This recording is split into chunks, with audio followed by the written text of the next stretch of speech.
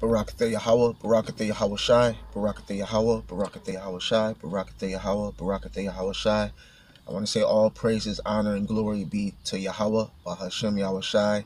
That's the Heavenly Father's name in the ancient Hebrew and the Son's name in the ancient Hebrew tongue. Yahweh is the name of the Heavenly Father. Yahweh Shai is the name of his only begotten Son. I want to say double honors to the apostles of Great Millstone who taught us this word. Um, I want to say uh, shalom, you know, to all the sincere brethren out there. Uh, my name is Ibadia Allah. I'm just going to go through a, a, few scriptures, you know, dealing with how basically uh, the church or the elect is going through trials, tribulations, and um, we're in, you know, in the furnace of affliction while we do this labor in this work. All right. So the first scripture I'm going to get is John 17, verse 4. It says, I have glorified thee on the earth. I have finished the work which thou gavest me to do. Now these are the words of, of uh, if you have a um, King James Bible, these these words will be in red letters, symbolizing these are the words of our Lord Yahweh Shai, who the world ignorantly calls Jesus Christ. All right, so this is him speaking. He said he glorified the Heavenly Father, the Most High Yahweh, on the earth. You know, when he came during his ministry, he was glorifying um, glorifying his Heavenly Father, paving the way for the kingdom, paving the road for the kingdom. All right he says, I have finished the work, right? Because this was, when he said this, this was about the time where he was to be crucified. You know, when he gave up his life, you know, for the elect of Israel, you know, for the Israelites. So he he said, I have finished the work which thou gavest me to do. And now, O Father, glorify thou me with thine own self, with the glory which I had with thee before the world was. All right meaning that he went back to the spiritual world. You know, he's sitting on the right hand of the Heavenly Father right now, pursuant to Psalms 110 in the first verse on down. All right. So it says, I have manifested thy name unto the men which thou gavest me. Right. So that proves that that, that name in the ancient Hebrew, the Lashon Kodash, or the Holy Tongue, is, is very, very important. You got guys like Nate you know, IUIC claiming that the name doesn't matter. They're calling calling on Christ. Christ is not his name. You know? Christ is a Greek word which simply means anointed. All right? His name was not Christ. His name was Yahweh Shai. You know? Yahweh Shai, meaning he is the deliverer or he is the savior. And he's only the savior and deliverer of the nation of Israel. So it's at verse 6 I have manifested thy name unto the men which thou gavest me out of the world. The men which the Most High gave to Yahweh Shai are the elect, the elect of Israel. Okay? Not even all of Israel right now, only the elect. Because two thirds, pursuant to Zechariah 13, 13 chapter, two two thirds of Israel are going to be destroyed on, for for their rebelliousness, you know, for their stiff neck being stiff necked, being hard headed, you know, and, and wanting to do their own thing and not taking heed to the to the, the word of the Lord. Which the Lord has his prophets out here on the highways and the byways and on the on the internet, you know, pushing this word out. You know, but two thirds reject reject this word, reject the word of the Heavenly Father. All right. So it says, I have manifested thy name unto the men which thou gavest me out of the world. He said, Thine they were, and thou gavest them me, and they have kept thy word. So the elect of Israel, the one third, and the elect, you know, elect prophets, the 144,000, they're going to keep the word of the Heavenly Father. You know, they're going to do the things that are pleasing to Him. They're going to keep His laws, His statutes, His commandments, keep His Sabbaths, keep His high holy days. And they're going to do not do the things that, that anger the Lord. You know, which mean breaking his commandments, you know. So it says uh, verse 7, says, Now they have known that all things whatsoever thou hast given me are of are of thee. For I have given unto them the words which thou gavest me, and they have received them, and have known surely that I came out from thee. See, the elect of the Lord, they're going to receive this word. They're going to take it with joy and they're gonna uh, apply it and apply it to their lives. It says, um, and they have believed that thou didst send me. It says, I, verse 9, I pray for them, I pray not for the world. All right, so Yahweh Shai, who the world ignorantly calls Jesus Christ, he, he didn't pray for the whole world. He didn't even pray for all of Israel because the world there is dealing with, with all of Israel. You know, it's not dealing. It's not even dealing with the other nations. It's not. The other nations have no uh, have no part in this. All right. The other nations are heathens. They're they're they're outside of the temple of the heavenly Father. The Lord doesn't deal with them. He only deals with His people. You know, the Israelites. But even right now, He's only dealing with a certain number of His of His people, which is the elect, the one third. So it says, I pray for them, I pray not for the world. So he prayed for the elect's sake. He didn't pray even for two thirds of Israel. Just like in ancient Egypt, you know, the Lord delivered um, delivered the elect out of out of Egypt, but the, the the rest of the Israelites, the rebellious Israelites, they perished and wandered in the desert. The Lord didn't even suffer them to enter into the Holy Land. All right, and it's going to be the same thing now. And this time, they gotta they gotta die first, and then in the kingdom they'll be born back as little children, up in, and raised up in righteousness. So it says, I pray for them, I pray not for the world, but for them which thou hast given me, for they are thine, and all mine are thine, and they are mine, and I am glorified in them. And now I am no more in the world, but these are in the world like like what I said, the, the Lord, He's sitting on the right hand of the, of the Heavenly Father right now. He's in the spirit. He's not in the flesh right now. So he's not in the world. He said, but the elect, they are in the world. They're meaning they're in this flesh. And they're going through different trials and tribulations, you know, in this uh and suffering for this for this truth, suffering for the name of Yahweh Ba'ashem Yahushua. All right? You know, having scoffers um slander you and talk shit about you you know, falsely for for the for the Lord's name's sake, as the scriptures say. It says, And now I am no more in the world, but these are in the world, and I come to thee, Holy Father. Keep through thine own name those whom thou hast given me. Yeah, and that's why Nate hates that name, you know, because Nate is Satan. Nate is the devil, you know. He's the he's the he's the antichrist. He's one of one of many. You know, that's why he hates that name. He he hates he hates the name of Yahweh Bahashim Yahushai. Even in that other in one video, he was like, Stop saying that name. Stop saying that name. You know? Because he you know he hates that name. Alright? It says, Holy Father, keep through thine own name those whom thou hast given me that they may be one as we are one. You know? So the Lord is saying that they may be one that even as him and the, uh, the Heavenly Father and he is one, meaning being in one accord. You know, that's why we all got to teach the same thing. We got to be one body. You know, that's why the, the apostles of, of Great Millstone, you know, starting with Apostle Tahar on down, we always stress that you can't come with no outside outside doctrines, man. We all have to be one body and teach the same thing. You know, you can't come with uh, some new uh, doctrine that's not scriptural. You know, like saying uh, all of Esau is not going to be destroyed, when the scriptures clearly say that. You know, in the book of Obadiah. You know, it says how after a thousand years, after they served slavery for a thousand years, all of Esau is going to be done away with. You know, they're going to be burnt up. You know, you, you got guys out there coming up with their own vain philosophy and doctrine, you know, and pushing it.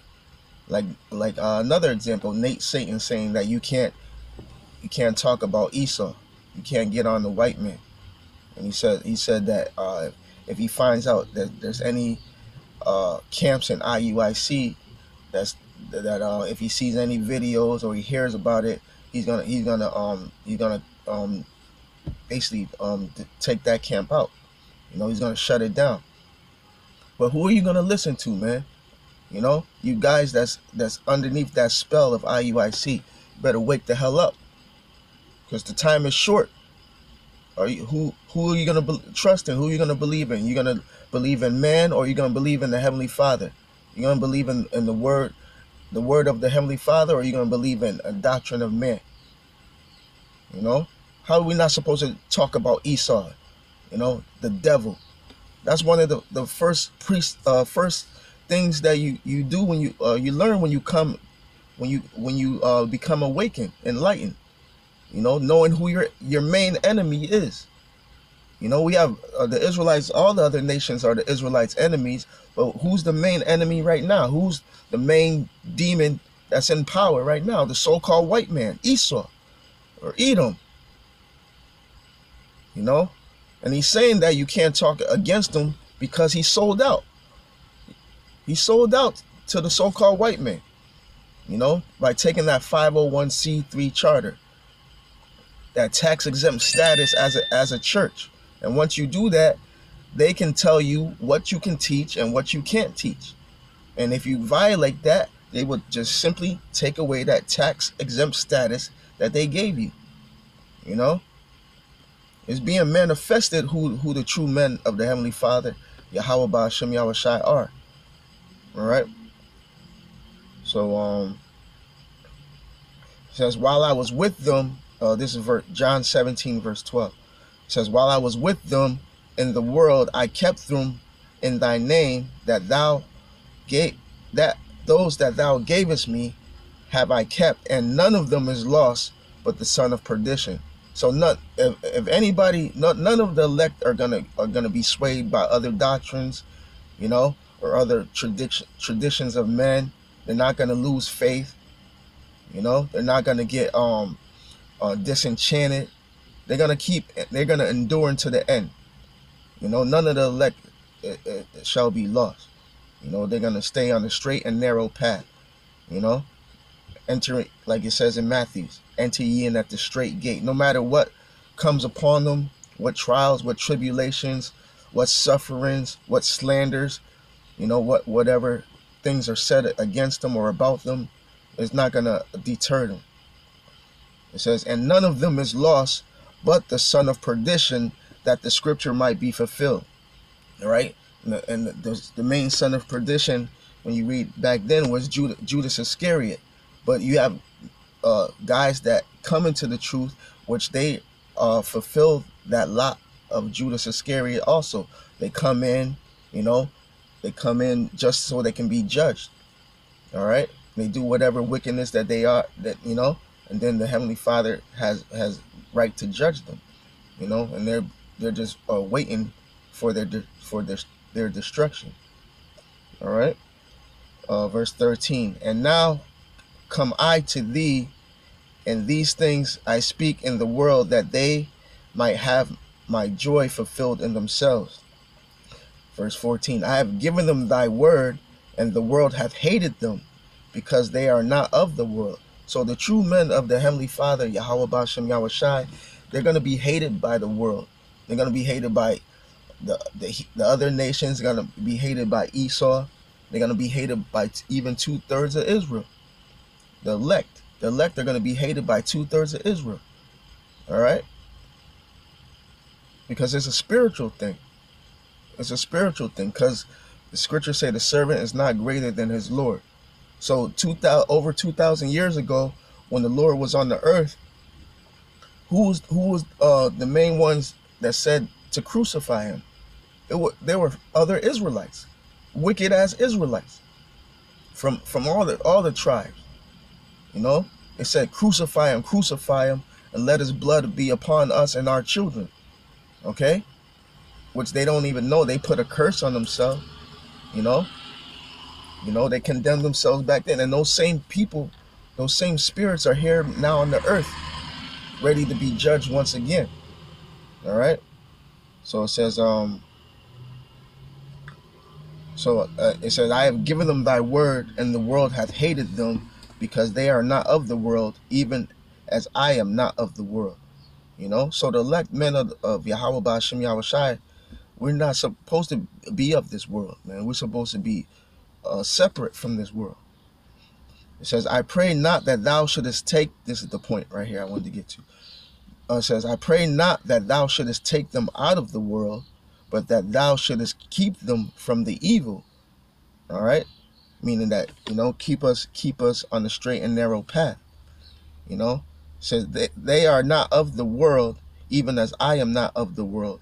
Sanctify them through thy truth. Thy world is thy word is truth. You know, the word sanctify means to make clean. You know, what makes us uh, clean, what cleanses us, is this word, these scriptures. You know, the Bible. You know, this truth that has been passed down unto us.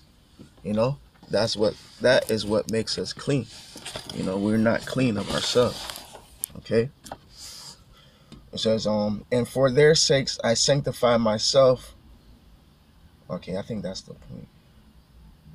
All right, that's the point on that. Let me see. Um, see. I'm gonna go from there. Um, let me go to Luke. No, let me go. I'm gonna go to the um, to the Apocrypha, Ecclesiastes, Ecclesiasticus chapter two.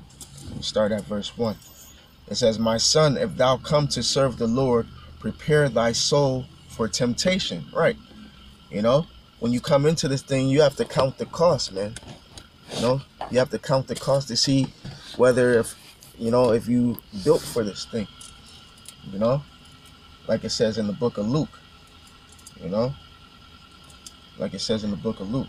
So it says, um, prepare thy soul for temptation, because you're gonna go through all kinds of trials, all kinds of tribulations, all kinds of sufferings for the name of Yahweh Ba'ashem Yahushai. It says, set thy heart aright and constantly endure. Meaning set your heart aright, meaning set your mind aright.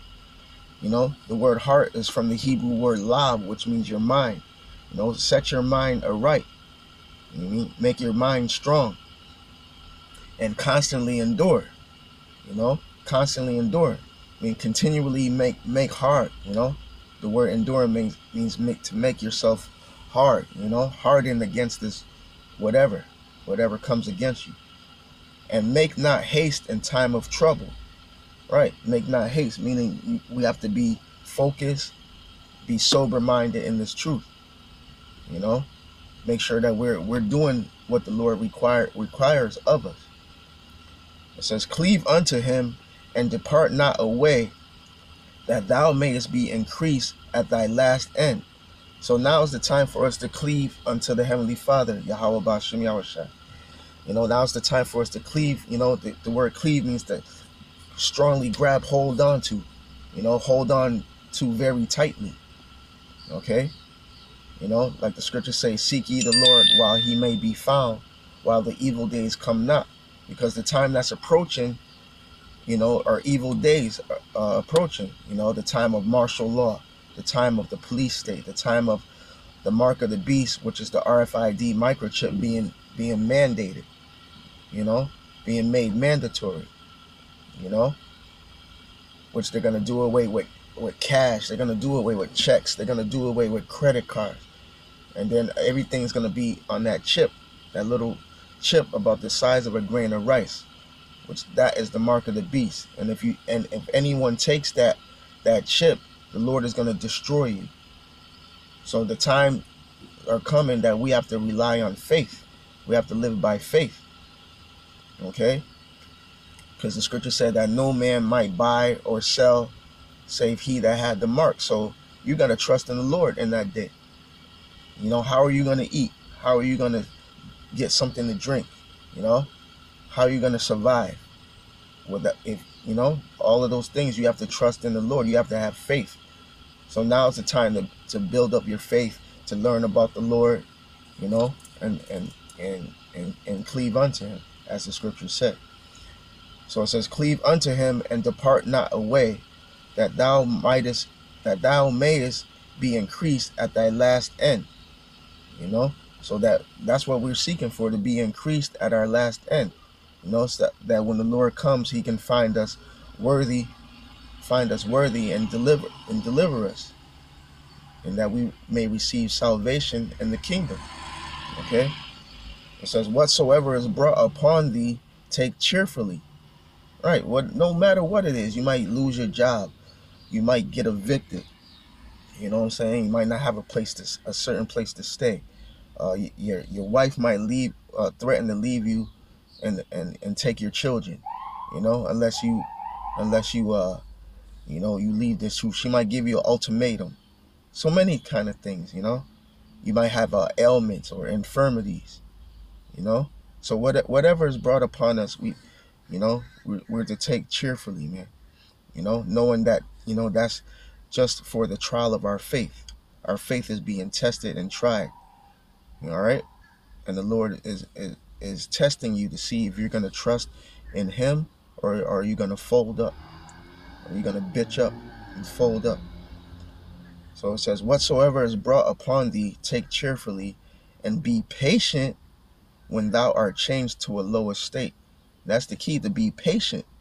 You know, you trust in the Lord, you pray to the Lord, on whatever situation you go into. You ask him for, for help and you be patient and you wait for him to deliver you. You know, the Lord said, uh, uh, anything that you that you you you lack, ask of him. Ask and ye shall receive. So the the Lord already knows everything that we need. He knows he knows everything that we're going through. Yeah, but he just wants to test test us. See we're gonna trust in him or not. So it says, and be patient when thou art changed to a lower, lower state. For gold is tried in the fire, and acceptable men in the furnace of adversity. See, that's what we want to be. We want to be found to be gold, like like that fine gold, fine gold of Uphaz. All right. Gold represents someone that's been tried, been tested, and they they trusted in the Lord uh, all the way until the end. All right because like in in the book of uh I believe it's First Corinthians the third chapter, it talks about um about men being different levels of men, talking about gold, silver, precious uh stones.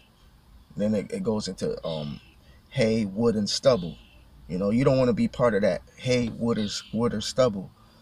You know, because all of those things burn once fire is, is put on them. All right, like I say for I'll start at the top from gold. If you put fire on gold, you know, it might bend or whatever, but it, it can take it. Same thing with silver, same thing with precious precious stones. But if you if you put fire to wood or fire to hay or to stubble, it burns up. You know? Stubble burns quick, super quick. As soon as a little hell is put on it, whoof, it's gone. You know? Hay, the same you know, it lasts a, a tiny bit longer. Wood, it might endure for a little while, but eventually it's consumed by the fire. So we don't want to be that wood, that hay, or that stubble. We want to be that gold and that silver and that precious, you know, them precious stones that can deal with the, that fire. The fires, those trials and tribulations that you go through on a daily basis, and it's true. We want to be able to to endure, be able to endure that. So it says, For gold is tried in the fire, and acceptable men in the furnace of adversity. It says, Believe in him, and he will help thee. Right? So believe in Yahweh Ba'ashem Yahushai and trust in him. It says, Order thy way aright and trust in him. Ye that fear the Lord, Yahweh Ba'ashem Yahushai, wait for his mercy. Right? Because at, at the end of everything, the Lord is in control of all things. So so at the end of it, he's gonna make a way for you to, to get through. You know, look at look at the the, the prophets of old. You know, look at uh, for example the, the apostle Paul. You know, they went through trials and tribulations. They were they were on the ship. You know, in the raging seas in the middle of a, a vicious storm. You know, did they did they lose faith? No. You know, they they trusted in the Lord, and the Lord assured Paul and the rest of the men that were on the ship that no one would lose their life. Not one person would lose their life. You know? So they, you know, they trusted all the way, even in the face of death. You know? They trusted unto the end. So it says, uh, Ye that fear the Lord, wait for his mercy, and go not aside lest ye fall. All right, go not aside. Don't lean unto your own understanding or, you know, go back into the world.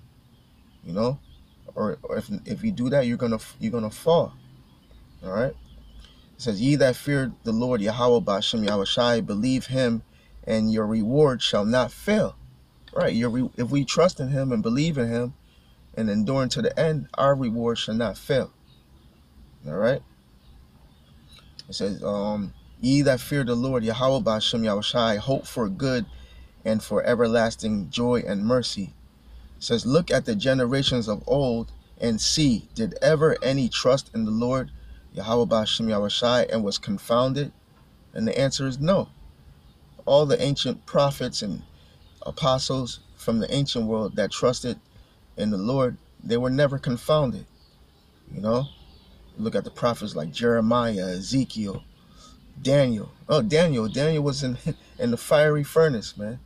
Even in in, in the face face of that, you know, they still trusted, you know, trusted in the Lord. All right. And the Lord delivered them. Okay. It says, Look at the generations of old and see, did ever any trust in the Lord, Yahweh Bashem Yahushai, and was confounded? Or did any abide in his fear and was forsaken? Or whom did he ever despise that called upon him? And the answer is no one. You know, if you call upon him in, in truth and sincerity, he's not going to despise you. He's going to help you. For the Lord Yahweh Bashem Yahushai is full of compassion and mercy, long suffering, and very pitiful, and forgiveth sins. All right? And and saveth in time of affliction. So the Lord can forgive your sins. You know, don't let your sins weigh you down, you know? Because we're we're all in this flesh. We're all, you know, we're, not right. That's why we need a savior. That's why we need a savior. That's why we need Yahweh Bashem Yahushai. So we can't let our sins weigh us down, or we can't condemn ourselves in our own heart, uh, you know, for, for going off. All we can do is repent and ask the Lord for forgiveness, you know, and keep on moving. The scriptures say a righteous man falleth seven times and getteth back up. All right.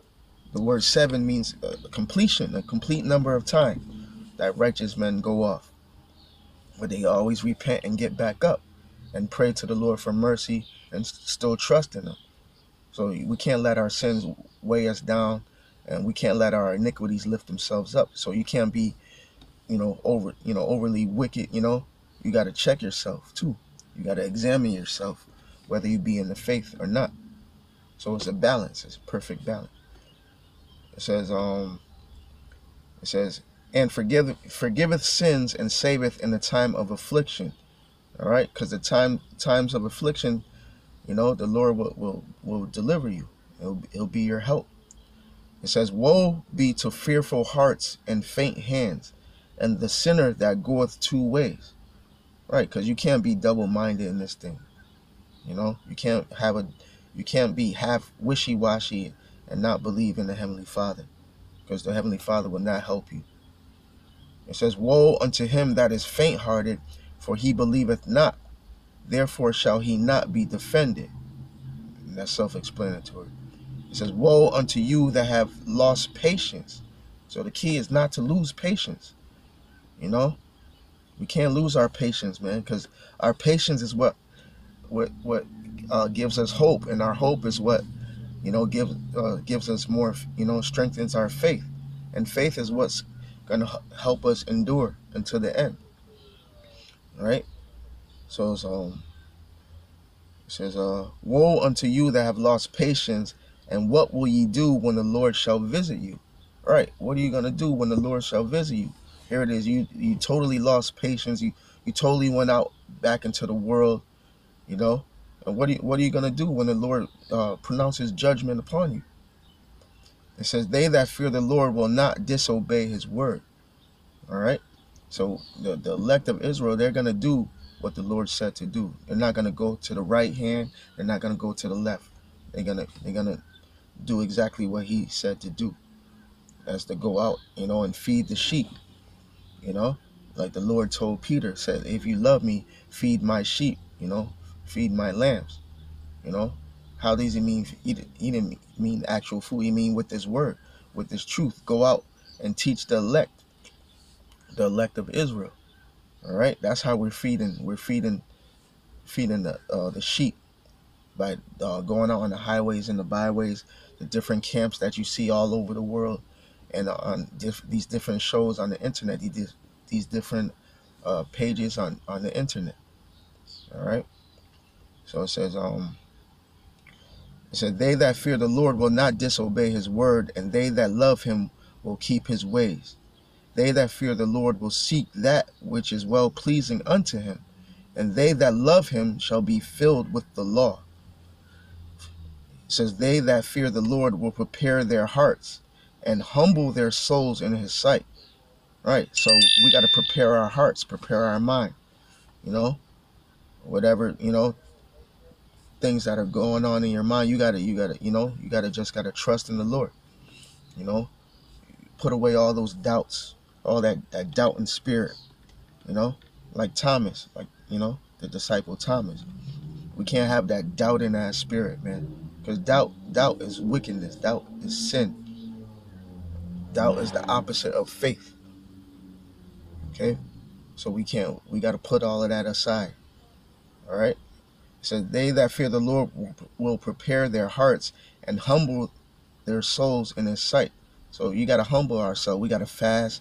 We got to pray. Whatever it is we have to do, man. We have to humble ourselves under the power of Yahweh Ba'ashem Yahushai. And the Lord will always be with you if you do these things. Saying, We will fall into the hands of the Lord and not into the hands of men. For as his majesty is, so is his mercy. And with that, I want to say all praises be to Yahweh Ba'ashem Yahushai. Uh, I hope this was edifying to, you know, some brothers out there. And Lord willing, I'll see you on the next show. Shalom.